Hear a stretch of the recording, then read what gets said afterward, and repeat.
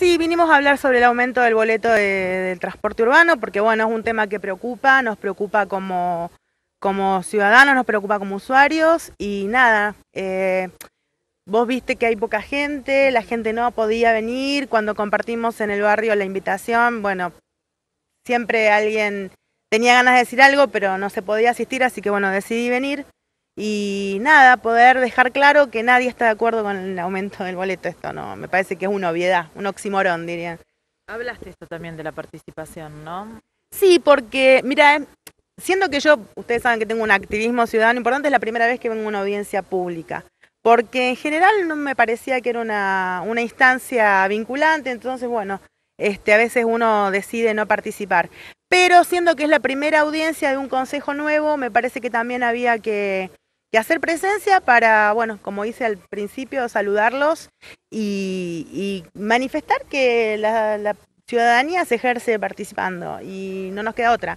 Y que nos escuchen, ¿no? Porque la verdad que venía acá y después que no pase naranja, por lo menos que lo que uno dijo sirva como para la discusión, porque lo que nosotros queremos como ciudadanos es un consejo que discuta, que debata. Recién planteaste también que la gente está sobreviviendo, digamos, y que no hay más límite para más peso en las espaldas de los ciudadanos. Me quise meter en el, ámbito económico, a ver, eh, no estamos ajenos, creo que sería una redundancia ponerse a explicarle al Consejo que tiene que saber muy bien cuál es la situación económica de los ciudadanos en general de Carlos Paz, y los más afectados son los asalariados, los que tienen un sueldo, los que hacen una changa. Em, evidentemente el que se conduce en vehículo y anda, está en otro nivel social probablemente no le preocupe, pero a la mayoría de la gente sí. ¿Esto incide mucho el tema del boleto en la economía de una familia? Entonces me parece que es algo que hoy es odioso tener que estar hablando de esto. Es odioso. para ellos debe ser más odioso que para mí.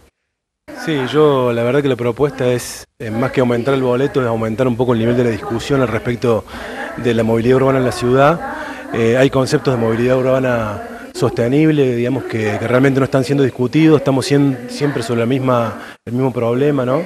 Eh, que es que al vecino no le alcanza, la empresa realmente no cumple con el contrato, eh, todos los testimonios dan cuenta de que esto no es una cuestión partidaria, el colectivo en Carlos Paz es deficitario, es eh, poco accesible, es irregular y realmente es inseguro, hay muchas unidades que se han prendido fuego, muchas unidades que no andan los frenos, bueno, realmente la, la preocupación vecinal es muy cierta y en una crisis económica como la nuestra esto se complica más todavía. Recién hablabas de esto de otro tipo de movilidad, digamos. ¿El planteo es cambiar eh, la raíz general del transporte en Carlos Paz? Sí, yo creo que tenemos que alinearnos con el mundo, dejar de discutir en cada audiencia pública, cada cuatro años electoralmente, una situación, digamos, de, de aumento del boleto y empezar a, ponernos las pilas con los representantes del pueblo y la ciudad, el intendente, en discutir lo que Naciones Unidas en la Agenda 2030 está proponiendo para todo el mundo, que es una movilidad urbana no basada básicamente eh, en la contaminación, el ruido, eh, la inaccesibilidad para la gente que menos tiene, justamente una, movilidad urbana basada en la diversificación del transporte, no, no solamente transporte de colectivos, sino otros, otras movilidades no contaminantes, y creo que los representantes del pueblo Carlos Paz tienen la enorme responsabilidad de empezar a tratar este tema estructuralmente y no en situaciones postelectorales. Emilio, cambiando de tema, ¿qué opinión tenés al respecto en lo que tiene que ver con la decisión del bloque oficialista de suspender el tema de las audiencias públicas en determinados puntos? No, sería un desmedro tremendo para la democracia, eh, realmente para la ciudad de Carlos Paz y para toda la democracia en Argentina. Estas audiencias públicas son muy importantes, por más que hay escasa participación o poca participación, los vecinos que participamos creo que tenemos un espacio interesante para expresarnos. Me parece que de la democracia se trata de eso, de justamente cada vez más aprender a participar y aprender a ser más pertinentes en lo que opinamos. ¿Por qué crees que es poca la participación de los vecinos? Me parece que simplemente la gente entiende que esto no tiene sentido y me parece que hay que darle un sentido.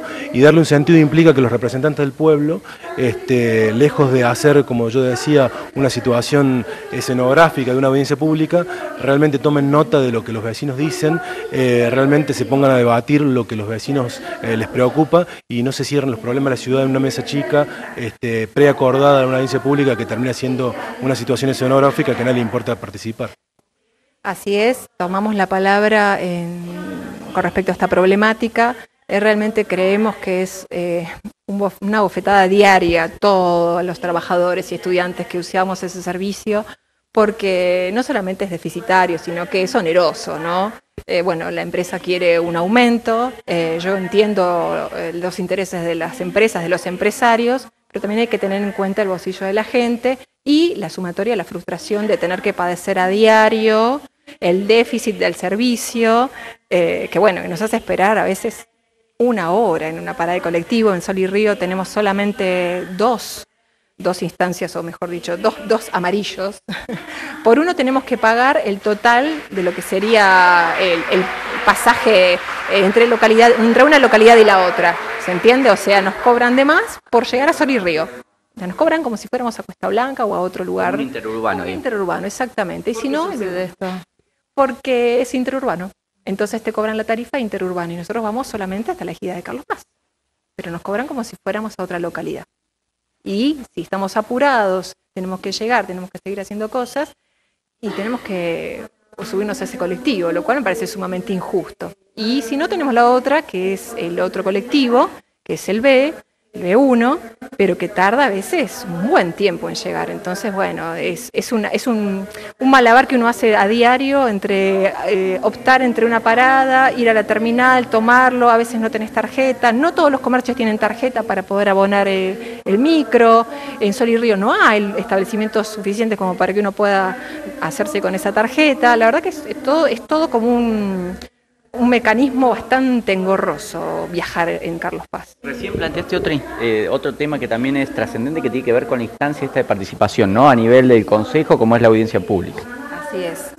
Veo muy mal que se intente clausurar la palabra de los ciudadanos en instancia pública, porque justamente la forma que tenemos de hacer visible nuestras problemáticas diarias, eh, nosotros no pertenecemos al Consejo y tenemos problemáticas que tienen que ser escuchadas, y en cada sesión del Consejo uno podría tomar la banca del ciudadano, pero nosotros no estamos, eh, eh, digamos, trabajando de concejales o trabajando en la administración pública como para poder acogernos a esos tiempos. Somos ciudadanos comunes, entonces estos lugares de apertura a la palabra son sumamente importantes.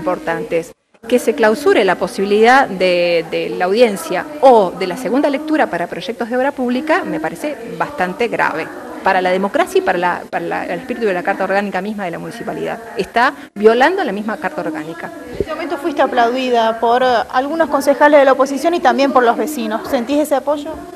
Eh, yo estoy tan nerviosa cuando hablo que no me doy cuenta. Sentí algún par de aplausos.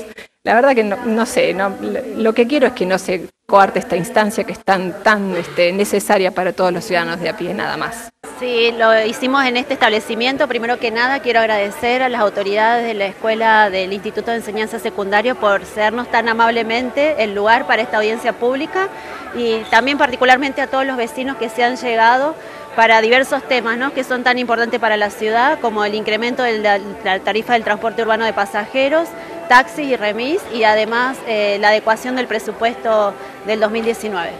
Los oradores hablaron en contra de este aumento del transporte. ¿Qué le parece? Y bueno, esta instancia es para que los vecinos tengan la posibilidad de expresarse, que los concejales tomen esos reclamos y después se trabajará en la comisión correspondiente para llevar a buen término la votación que será seguramente en esta semana o la semana que viene, de acuerdo a lo que se trabaje en la comisión. Concejal, ¿le parece que podría haber habido más gente teniendo en cuenta los puntos que se trataron? La verdad que estamos muy contentos por la convocatoria, siempre nos gustaría que se sumen un poquito más, así que bueno, esta es la primera instancia de este año del nuevo Consejo y convocamos a todos los vecinos en las próximas instancias.